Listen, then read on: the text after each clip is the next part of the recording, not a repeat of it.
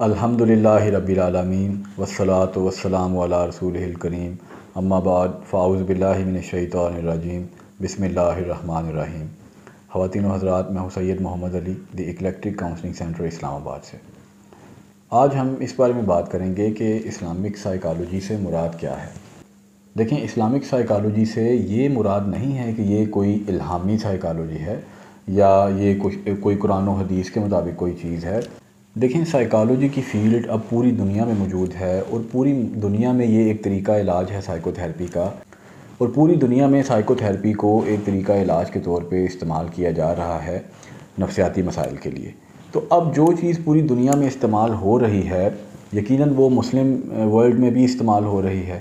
لیکن سائیکالوجی کا تعلق ہماری سوچ کے ساتھ اور ہمارے بیہیویئر یا ہمارے اعمال کے ساتھ ہے۔ اب چونکہ مذہب کا بھی بہت زیادہ تعلق ہے ہماری سوچ کے ساتھ اور ہمارے اعمال کے ساتھ، کیونکہ مذہب ہمیں جو کچھ ہم نے کرنا ہے اس میں ہنڈریڈ پرسنٹ رہنمائی ہماری کر رہا ہے۔ خاص کر اسلام کی اگر ہم بات کریں تو اسلام ہماری ہم نے جو کچھ بھی کرنا ہے، ہم جو کرتے ہیں یا سوچتے ہیں، اس میں ہمیں ہنڈریڈ پرسنٹ ہماری رہنمائی کر رہا ہے۔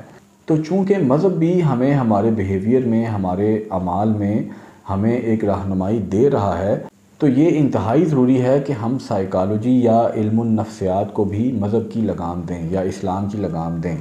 اس کی وجہ کیا ہے کہ جتنے بھی ویسٹرن تھیورسٹ یا فلاسفرز ہیں سائیکالوجی کے، انہوں نے اپنی جو بھی پرسنالٹی تھیوریز دی ہیں ہیومن بیہیویئر کے بارے میں، تو اس میں کچھ ایسی چیزیں ہیں جو اسلام سے ٹکراتی ہوئی نظر آتی ہیں۔ اب ایک ایگزامپل کے طور پہ اگر ہم دیکھیں کہ سیگمنٹ فرائڈ کی تھیوری میں جو کچھ بھی ہے، اس میں سے جو تھراپیوٹک ٹیکنیکس ہیں، وہ ٹھیک ہے، وہ قابل عمل ہیں اور ان کو ہم استعمال بھی کر سکتے ہیں۔ لیکن جو اس نے پرسنالٹی کے بارے میں تھیوری دی ہے، تو یہ تو ہم پہ لازم نہیں ہے کہ ہم اس کو تسلیم کریں یا اس کو درست سمجھیں۔ جو بھی سائیکالوجسٹ یا فلاسفرز ہوتے ہیں وہ دوسرے انسانوں کو آبزرو کرتے ہیں اور اپنی اس آبزرویشن کے مطابق اپنی لرننگ کے مطابق اپنی انڈرسٹینڈنگ کے مطابق وہ ایک تھیوری دیتے ہیں۔ اور جو بھی وہ تھیوری دیتے ہیں ہو سکتا ہے کہ وہ ایک حد تک تو درست ہو لیکن ضروری تو نہیں کہ وہ تھیوری ہنڈریڈ پرسینٹ تمام انسانوں پہ صادق آتی ہو یا وہ تھیوری واقعی ہیومن بیہیویئر کی یا انسانی رویوں کی اصل شکل پیش کرتی ہو۔ تو ان کی تھیوریز میں یا ان کے نظریات میں بہت زیادہ غلطیاں ہو سکتی ہیں۔ تو ہمیں ایز اے مسلم سائیکالوجسٹ ہمیں کیا ضرورت ہے کہ ہم ان کی جو پرسنالٹی کی تھیوریز ہیں، ان کو ہم استعمال کریں، ان کے نظریات کو ہم فالو کریں۔ جو تھراپیوٹک ٹیکنیکس ہیں، ان کو ہم ضرور استعمال کر سکتے ہیں۔ تو اس لیے یہ انتہائی ضروری ہے کہ چونکہ سائیکالوجی کا تعلق بھی ہمارے اعمال کے ساتھ ہے، ہمارے بیہیویئر کے ساتھ ہے، ہماری سوچوں کے ساتھ ہے، تو ہم یہاں پہ اسلام کی رہنمائی حاصل کریں۔ اس ساری بات کا مقصد یہ ہے کہ اسلامی نفسیات کا یہ ہرگز مطلب نہیں کہ یہ الہامی نفسیات ہے یا الہامی سائیکالوجی ہے، بلکہ اس کا مطلب صرف یہ ہے کہ ہم اسلامک سائیکالوجی کی جب ٹرم کو یوز کریں گے تو ہم جو بنیادی تعلیمات ہیں وہ ہم اسلام کی فالو کریں گے، اسلام کی حدود کو فالو کریں گے اور سائیکالوجی کی جو بھی تھراپیوٹک اپروچز ہیں ان کو ہم صرف اتنا استعمال کریں گے جتنا ہمیں استعمال کرنے کی اسلام اجازت دیتا ہے۔ تو ہمیں اپنے کلچر میں ایک اسلامک کلچر میں ویسٹرن تھیریز کو یا ویسٹرن سائیکالوجی کو استعمال کرنے کی ضرورت نہیں ہے۔ دیکھیں ہمارے کلچر میں اور ان کے کلچر میں بہت فرق ہے۔ اب ایک ایگزامپل لیں کہ اسلام کے مطابق کثرت سے رونا، اللہ کے خوف سے رونا، یہ ایک اچھا عمل ہے اور اس کے بارے میں متعدد احادیث موجود ہیں۔ لیکن اگر آپ کسی ویسٹرن سائیکالوجسٹ سے پوچھیں کہ ایک شخص مسلسل سارا دن دن میں پانچ سے دس مرتبہ روتا ہے اور وہ ایک خوف کا شکار ہے، تو وہ یقیناً اس کو بولے گا کہ سائیکو پیتھالوجی ہے۔ اگر اب آ کے تھوڑا سا ماہرین نفسیات اس چیز کا کا خیال رکھتے ہیں کہ کہیں اس کے ساتھ کلچرل کوئی ریزن تو نہیں، کوئی، ان کی، ان کے کلچر کی یا مذہب کی کوئی ایسی وجہ تو نہیں ہے، تو پھر وہ اس کو دیکھتے ہیں کہ یہ نفسیاتی مسئلہ ہے بھی یا نہیں۔ لیکن اگر عام حالات میں ہم کسی سے پوچھیں کہ ایک شخص بار بار دن میں پانچ سے دس مرتبہ روتا ہے، تو وہ یہی کہے گا کہ یہ تو اب نارمل بیہیویئر ہے۔ جبکہ اسلام میں اگر ہم دیکھیں تو ایک بالکل نارمل انسان جس کی باقی فنکشننگ بالکل نارمل ہوگی اور وہ دن میں پانچ سے دس مرتبہ روتا ہے، تو اس سے کوئی اس کی نفسیاتی صحت کو کوئی برا فرق نہیں پڑتا اور وہ اپنی باقی زندگی میں بالکل نارمل ہوتا ہے۔ تو اس طریقے سے ہمیں کلچر کا بہت زیادہ فرق نظر آتا ہے ویسٹ کا اور اسلامی ممالک کا۔ تو یہ تو ایک ایگزامپل دی، اس طرح کی بہت ساری ایگزامپلز ہو سکتی ہیں۔ تو ہمیں سائیکو تھیرپی میں یا سائیکالوجی میں اسلام کی رہنمائی کی ضرورت ہے۔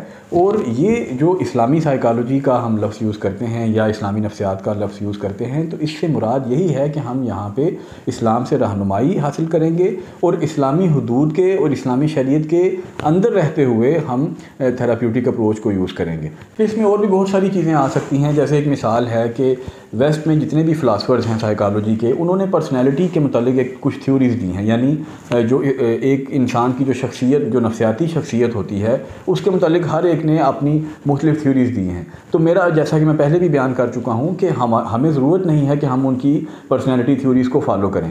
اب اگر ہم اسلام کی بات کریں تو الٹرنیٹ پہ اسلام نے بھی ہمیں بتایا ہے کہ ایک انسان کی جو پرسنالٹی ہے، وہ روح سے اور نفس سے مل کے بنتی ہے۔ پھر نفس کی کچھ اقسام بتائی گئی ہیں۔ روح کے متعلق کچھ لمیٹڈ سا نالج دیا گیا ہے اسلام میں۔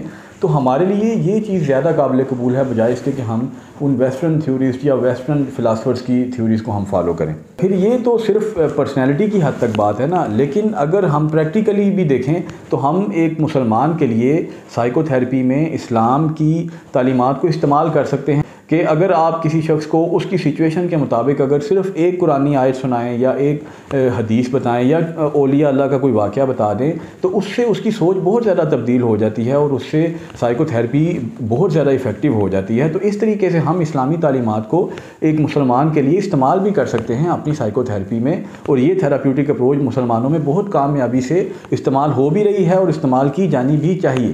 تو مختصراً اگر ہم بات کریں تو اسلامی تھیرپی سے مراد یہ ہے کہ ہم جو ویسٹرن سائیکالوجی ہے، اس کو لگام دیں اسلام کی اور اس کو اسلامی حدود کے اندر استعمال کریں۔ جو طریقہ کار ہے تھیرپیز کا، اس کو اسلامی حدود کے اندر استعمال کریں۔ جیسے ایسا نہ ہو کہ ہم بولیں کہ آپ نیٹ فلکس سے فلاں فلاں موویز دیکھیں یا آپ فلاں فلاں میوزک سنیں۔ جب ہمارے پاس اسلام کی اپنی حدود موجود ہیں، رہنمائی موجود ہے، تو ہم اسی کو استعمال کریں گے تھیرپی میں۔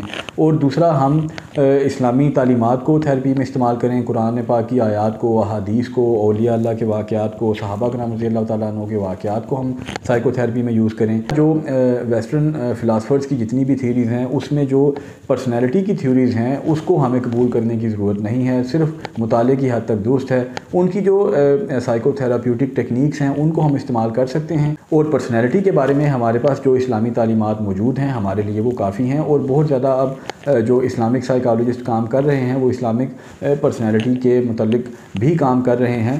لیکن وہ بھی فائنل نہیں ہو سکتا کیونکہ بہت ساری ایسی چیزیں ہیں جو اسلام نے ہمیں روح کے بارے میں یا نفس کے بارے میں تفصیل سے نہیں بتائی۔ تو جتنی معلومات اسلام میں موجود ہیں وہ ہمارے لیے پرسنالٹی یا شخصیت کے بارے میں جتنی معلومات موجود ہیں وہ ہمارے لیے کافی ہیں اور ہمیں ویسٹرن فلاسفرز کی دی ہوئی پرسنالٹی تھیوریز کو فالو کرنے کی ضرورت نہیں ہے۔ پھر اس کے علاوہ کچھ اور چیزیں بھی ہیں کہ جو کلائنٹ اور تھیراپسٹ کا ریلیشن شپ ہے، اس میں بھی ہم ہمارے پاس، جو اسلامی تعلیمات موجود ہیں، ہم انہی حدود کے اندر رہتے ہوئے سائیکو تھیراپی میں۔ تو یہ ایک مختصراً سی اس پہ میں نے بات کرنا ضروری سمجھی کہ اسلامی سائیکالوجی سے مراد الہامی سائیکالوجی نہیں ہے۔ نہ ہی ہم نے ہمیں اسلام نے واضح طور پہ کوئی سائیکالوجی کی کوئی تعلیمات دی ہیں کہ اس طریقے سے اسلامک سائیکالوجی ہونی چاہیے، بلکہ صرف یہ ہے کہ ایک طریقہ علاج جو استعمال ہو رہا ہے، اس میں ہمیں ویسٹرن فلاسفرز کو فالو کرنے کی بجائے ہم اس میں ایک زیادہ سے زیادہ اسلامی تعلیمات کو فالو کریں گے اور جو ویسٹرن تھراپیوٹک اپروچ ہم یوز کریں گے بھی، اس میں بھی ہم اسلامک حدود میں رہتے ہوئے کام کریں گے۔ تو یہ ہماری آج کی ویڈیو تھی۔ بہت شکریہ۔ اللہ حافظ۔